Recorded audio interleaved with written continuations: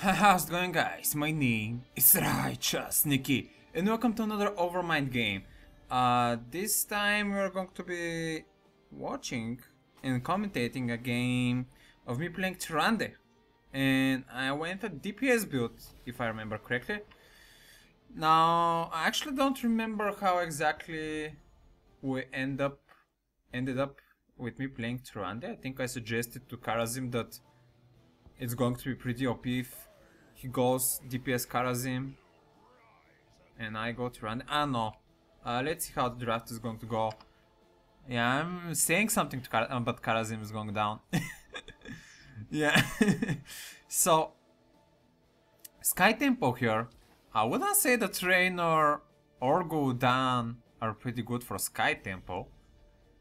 Uh, I do like Greymane though. He has a lot of ground to maneuver and pick up some kills. Uh, they got Brightwing. Brightwing is pretty solid on Skymane because... Not Skymane. Sky Temple. And Greymane, alright? so Brightwing is pretty good on this map because he has a lot of global, uh, global presence. And general Polymorph is pretty good, especially versus Greymane if he decides to engage. Now our team actually decided to ban the Haka here. That's a pretty solid ban. Uh, usually on global maps like that, the hacker is pretty solid because he can soak a lot of the lanes until the objective uh, is contested. So that's a that's a pretty solid thing to have. Um, am I sure I played Tyrande? Hmm, I don't know. Maybe I'm mistaken the game, but that's how I named the game file. Interesting. All right. Um, so they banned Johanna. Uh, I know. I guess they were a bit of scared of Johanna. I don't see why particularly they would ban her. Maybe because they have two auto, auto attackers with Karazim and Raynor. Yeah, that makes sense because Karazim is going probably uh, their Karazim an auto attack build because they already have a Brightwing support. So they want to ban a tank that potentially can counter heavy attack speed. So that makes perfect sense. Now Muradin is actually a, a pretty decent tank uh, versus attack speed heroes. Also provides some pretty nice TCC. And we got Auriel. Um, got Auriel here as a main support, which is going to be nice. If Greymane decides to go too deep or Muradin, she can put a nice little shield on on them so my logic here for Tyrande was actually I think that I saw Varian and I think to myself Varian needs to get bursted. And Varian is going to be actually their main tank. And yeah I don't know. I'm not really sure why I picked Tyrande here to be honest guys. Because I thought that maybe if I went Tassadar we wouldn't have enough damage and I thought that uh, and I thought that someone that has auto attacks and some healing would be perfect in this situation, so that's why I went Tyrande. So if you if you have watched my older videos with Tyrande, you probably know how I already go on auto attack build. Uh, I started off with level 1 Seasoned Marksman. Now Tyrande's auto attack damage isn't that high, to be honest, but it gets significant, significantly, significantly, I can't pronounce it, much better later in the game. Uh, but the main reason why Tyrande DPS is good is because you have the mark. And the mark generally allows you to accelerate your auto attack damage to the target up to a very nice point. And the mark also helps your other allies to get this target that you're trying to get. So General Tyrande is always useful. Uh, I wouldn't say that... Actually, uh, uh, not always. I would suggest that you don't pick Tyrande versus double tank, in my opinion. While you might try to focus one of the tanks, the other tanks is going to uh, to be blocking, so yeah. So I'm now actually getting uh, zone out pretty hard versus uh, just 2 versus 1 here. Our team reacted there and started chasing Raynor and Brightwing. So we have the tempos up. I'm generally staying here soaking the lane because I want to get some of those Seasoned Marksman stacks. Uh, though it's uh, happening pretty slow, still I want to be getting those. Kitty. Um, and we're getting some nice CC. We have some pretty nice combo CC with Oreo, with Muradin as well. So there's a lot of combo potential with Randy. Now, I actually missed my stun there. I'm gonna die. Yep. So that was pretty unfortunate. Uh, than I, I pinged, I pinked Muradin, pinged, I pinged to Muradin there because I was a bit frustrated that he didn't react. But honestly, when I'm watching it now, I can't really blame him because uh, capturing the point is more valuable than fighting, so... It is I who decided to go very aggressive as a Tyrande, and I shouldn't have. uh, so, Gul'dan died there. Hmm, Muradin is contesting Raynor pretty well uh, the moment. By the way, I've been playing from recently, from maybe the past week, I have noticed that a lot of the Muradins go for this uh, talent. I don't know how it's called, but basically it increases your attack speed by 25% and every third attack you mini stun the target. Now, I don't know how strong this is, but if you're a squishy target, this attack speed of Muradin really uh, starts to chop off your HP quite fast. And now we're going to combo some CC there, manage to land the mark, uh, but yeah, especially with Li Ming coming here, you just don't have enough to contest 3 versus 2. Uh, I'm going to send a stun there, stun Li Ming, but I know why Muradin turned there by the way. I guess he was trying to dodge the Brightwing thingy there, but yeah, I did my best to save him there. So I'm still sitting here, sucking the lane as much as I can. 2 versus 1 really sucks, as a Tyrande especially. If, it, if it was 1 versus 1, that maybe I could have done a bit better, but... Yeah, and the bad thing is that as a Tyrande I don't have good wave clear. My wave clear is a bit better than a Nova, so that's not that good. I mean, I can land a stun there, but that's going to be it to clear the waves now. I'm pinging my team here uh, to help me out. I'm gonna die here miserably. Uh, I'm actually going to get pissed now and actually chat to my team uh, some valuable words here. I mean, I've been really outnumbered there 2 versus 1 in the entire game as a Tyrande and that really sucks. Um, so yeah. I know. I think I had a reason to be frustrated there. Um, I'm going to disable the chat again. I generally try to not talk as much as I can so I don't get uh, uh, triggered sometimes and say something bad. Now I'm going to have a bad stun here on Raynor. Very bad stun, actually I'm in a very bad position. Managed to finish him actually, thankfully. Especially with Gul'dan interfering here.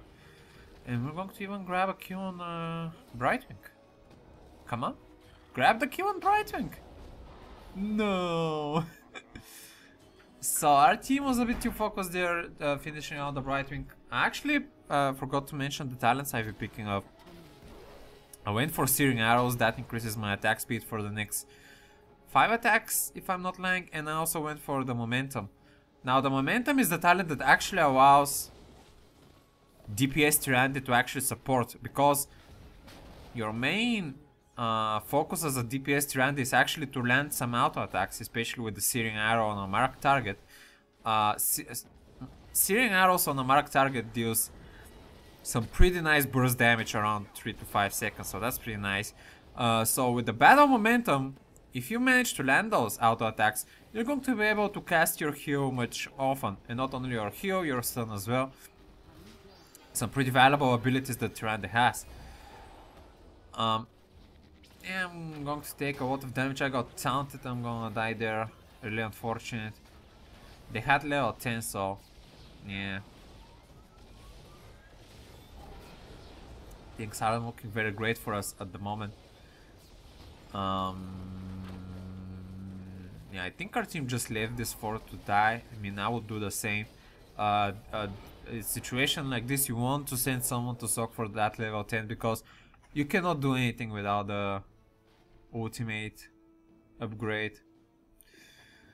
So I'm actually now considering what talents I'm going to go. I actually was really considering to go the mending talent. I think I might have gotten it, I'm not really sure.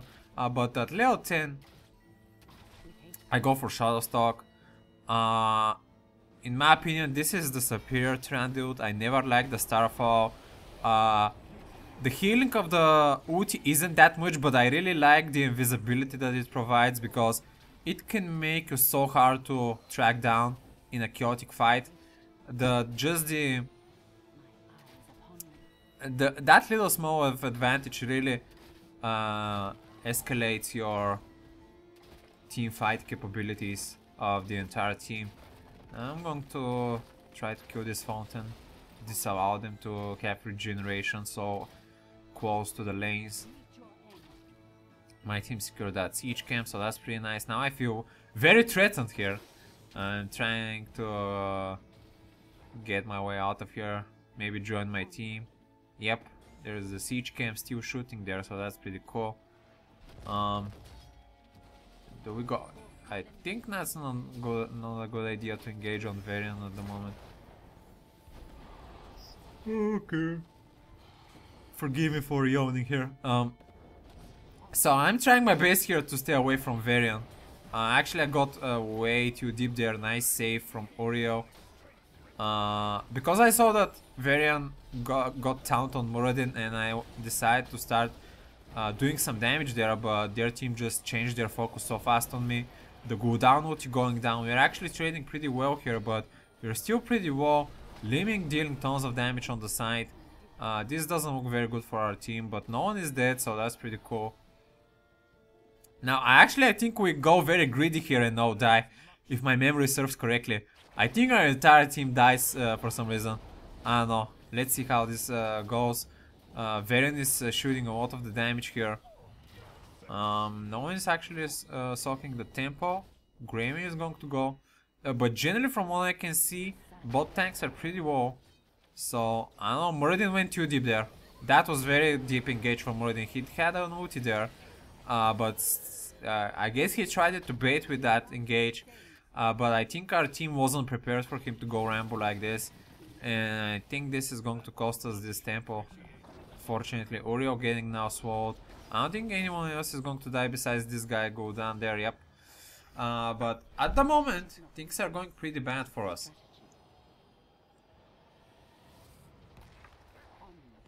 Now, Strand TVS, you're considering on your next talent level 13. Uh, there's only one talent that increases your auto attack capabilities, and that is the upgrade to the Hunter's Mark. Basically, this talent allows you, I mean, not allows you, but gives you 40% increased attack speed when you mark someone. And the mark duration is 4 seconds, so uh, you don't mark that often because the mark uh, cooldown is 20, but again it just provides you this burst on the mark that is very very nice.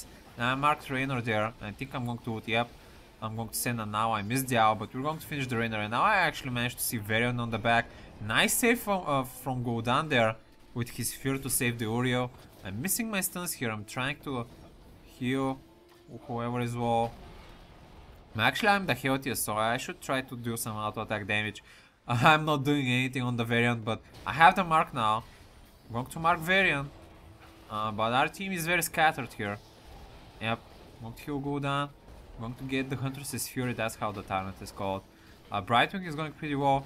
I'm healing Greymane because I really want him to go balls deep and chase them down. But generally only Varian is well from their team, so that's not very nice. Now our team got alerted that we should be capping this tempo finally. Seems that their team is uh, the one with lower HP, but they're not giving up. Uh, Brightwing is coming here on 4 HP. Varian is a bit low there, but uh, Greymane is getting taunted. I'm going to heal Greymane. Very nice stun on uh, Kharazim there, but he's going to ult. I'm ulting as well. Brightwing in the Crystal. Gul'dan manages to finish Karazim with the health funnel, the drain life thingy. Uh, Greymane is a bit low there. Muradin going Crumble. Uh, he actually doing pretty well. Uh, they're on the run. I think Raynor, we should focus Raynor on the side, yep. uh, but yeah, we're generally pretty well, so we're a bit scared to go balls deep, especially with the Li Ming on the side. Greymane is going to survive for now, but we're generally pretty well now. Gul'dan actually is pretty healthy versus this Varian. Nice ulti from Gul'dan there. Uh, but now the Li Ming is going to do a lot of damage. I'm trying to focus this Brightwing because he is being pretty low from a long time now. Have the mark, going to go that mark on Raynor, I'm going to be able to finish him. Still trying out some heals there. Um, yeah, they're going to finish out this tempo. So at this point of the game, we stopped losing and we managed to draw the game to a draw. I mean, it's pretty even when it comes to the team fighting at the moment, but we're still losing when it comes down to levels and forts. Actually, the forts are pretty even, uh, but in general, I think uh, they had the majority of the control on the temples. Now, this is uh, level 16, uh, very important talent for Tyrande. Uh, you can go basically two sides on your auto attack spec. Most of the time, you would consider going for the True Shot Aura, because it gives that very nice 50% auto attack boost not only to you, but to your teammates. By the way, after reading the talent recently, I'm not really sure that it actually gives 50% to you, because on the talent text it, uh, text, it says teammates, allied teammates. I mean, I am a teammate to myself as well, but I'm not really sure, I haven't tested it, but I know from before they tweaked Tyrande that it worked for her as well. Uh, so now we're doing some very interesting tradings here. Muradin got caught off there, but he managed to escape with his jump. Gul'dan is talking for the 16, so that's not that big of a deal, but this guy's going to get taunted. He's just going to get annihilated. Yeah, that really sucked. Now Gul'dan is finally coming. But we still don't have that level 16. Oh boy. I marked Varian there, but he's just soaking so much damage. I'm getting bursted down here pretty heavily. It's time to get some uh, help from the fountain, but generally 4 versus 5 we cannot do much but poke here. Gul'dan is actually poking pretty well uh, for, for someone that is so DPS with Tyrande. But we really need that Leo 60 and Greymane to come back a lot. Now the tempos are actually going up again. So we should be able to contest uh, with Greymane. I got the True Shot Aura. Now the True Shot Aura uh, uh, doesn't work with everyone in our team. Uh, but it is, it is really a very nice boost to Greymane uh, which can land a lot of nice pistol attacks. It's very nice boost to Muradin. And we're just going on this uh, Varian there, but I'm getting zoned out by Karazim and Raynor. I'm actually pretty low. Uh, don't know why Karazim actually decided to stop chasing me, because he could have probably finished me there. Maybe he was a bit afraid to go 1 versus 5 there that deep. But in general, we're pretty well. I have my ulti up, I'm just waiting for their team to engage. Uh, yeah, right about now because I saw Muradin going extremely well. Uh, the, the ulti is going to bring us up a bit on the HP, but I think Raynor is going to contest me here. I actually think I go one versus... No, I'm just trying to keep Greymane healthy. But I think I go very offensive on Raynor because I know I can take him one versus one now with my talents. Uh, though Brightwing is on the side here. And Raynor has a bit bigger attack speed than me, so... Um, yeah, that's not going to work uh, for now. Uh-oh, Muradin getting taunted there. A nice crystal from Muriel. Gul'dan a bit low there, but Muradin, Muradin... Ooh, he survives. Very nice. Now, Varian is actually pretty well. Very well that Varian, but we just don't have enough to finish him. I'm trying to force a Li Ming away from there, though I don't have no mana. It's probably best if you all just go back to uh, gather mana and HP back, because things aren't... I mean, things are pretty even, man. I mean, we're fighting, they're fighting, and no one seems to be dying. So both teams are playing very patiently here. Now for next talent, Nexus Frenzy is the thing you want to go, obviously, for an auto-attack build. It generally gives you that range and attack speed that Tyrande doesn't have, which is very important. Because with Tyrande you want to be shooting from a bit safer. Now I landed this stun on Varian there and Mark as well, but he just keeps ignoring the damage with his shield talent. Uh, now we're actually nice ulti from Gul'dan there, going to force Varian to not be able to use his ability, so that's a pickup for us. Now we can take this tempo quite safely with one man down. Our team is uh, zoning them there for some reason. Actually, I think I should leave Greymane here to uh, clear, clear that himself and actually join my team there, to be honest. I'm not really sure why I stayed here. Maybe I wanted to help him to kill the big uh, minion first so he doesn't take that much damage. But in general, I think I should have went uh, with my team to provide any healing that would be needed. And I'm actually uh, working here my healing, I think. I'm not really sure why I'm tabbing that much. But I think I'm working at my healing as a DPS Tyrande. It's pretty good, to be honest. Uh, I, and we're going to see at the end stats if I actually manage to do do some more healing than others. But the moment we're contesting this uh, siege camp, but Karazim here, very strange position of Karazim. He is going to get sandwiched from four directions. He's going to die. I think we actually now decide to go for the boss. I think it's a good time for boss. Muradin and Greymane are doing some chasing there on the Li Ming. Brightwing is on the top. I really see no reason why we shouldn't uh, start the boss here. Varian here. Uh, I'm going to ulti, we really need to uh, contest this point. Going to land stun and mark on Varian. Brightwing though, getting in the middle of all the damage. We managed to secure this camp. Varian in a very strange position there, but he's still pretty tanky. I don't know if we're going to kill him. Yeah, we're going to kill him. And finally decide to go at uh, the boss because it's 2 versus uh, 2 down, so it's going to be 3 versus 5. So the boss seems pretty easy to take, and especially with my mark, uh, we're going to melt him down pretty easily. I got a bad position there, but that doesn't going to mean that much because they're not going to contest us. And now with the boss, we're going to be able to push very deep because a Varian has uh, another 30 seconds. We are going to push for that layout 20. And we feel very confident here after picking uh, those last few, uh, few team fights. A kill or two. Uh, it's not that much, but it really manages to bring us on the age, uh, the experience advantage. And now there is this tempo up, but we decide to push with the boss. I get the Nexus Frenzy, and we're just pushing here. Raynor is uh, trying to push us back with his ultimate. Not going to do that much. I'm actually trying to stay on the Raynor side here. Uh, try to zone him out a bit. Uh, Raynor is shooting me there. Now actually I decide to go on Kharazim maybe. Probably going to ulti soon as well when I see Varian. Uh, no really need for to do it now because everyone is pretty healthy. Auriel is providing some heals as well. Boss is going very deep now. I decided to ulti because I saw Greymane. And now another excellent ulti from Gul'dan there. Managing to get the Brightwing. Now they're one healer down. Uh, Muradin is going on that Varian. Double stun there on the Mink as well. Uh, they're, they're not going to die, but we're doing tons of damage on the core now. I'm trying to finish this Karazim. Oh, excellent ulti from Auriel. And finish from Auriel. I'm going to die eventually, but I did manage to get their focus on me. And this is going to be game. As you can see, actually they managed to do more healing, but still the healing that I've done was pretty substantial for a DPS Tyrande. Uh, I also want to actually check the damage. Let's see if my past self is going to open this uh, uh, game board. I'm pretty sure he wouldn't, but I think I can rewind a bit to check out the graph.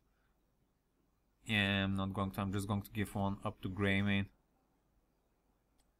And I'm going to cut it here. So here's the picture of the last tab opening that I did.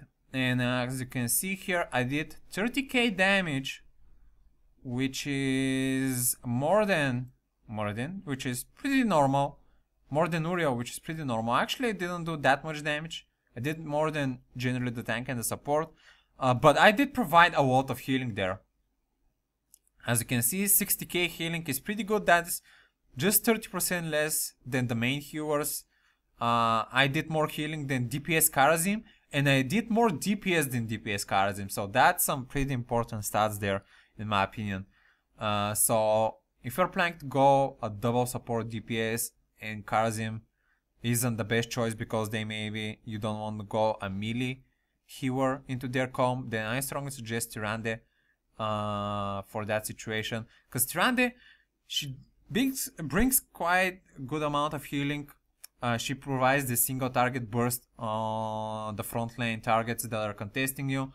And generally are a very nice utility character that can provide damage when it's needed. Especially with this build. So this is going to be everything uh, from me from today guys. Just a very nice the game that I have experienced that I wanted to share. So thank you for watching. And until next time, stay righteous uh, towards their core with Avatar. But at this point, I think I decided to recall. Especially when I saw that Avatar went back as well. So I think to myself, now that Kael'thas is back, I think it's better to actually go back. I have the global hunt, so I go on Sonya here. I got some damage from ATC, which sucked really bad. I tried to position myself as better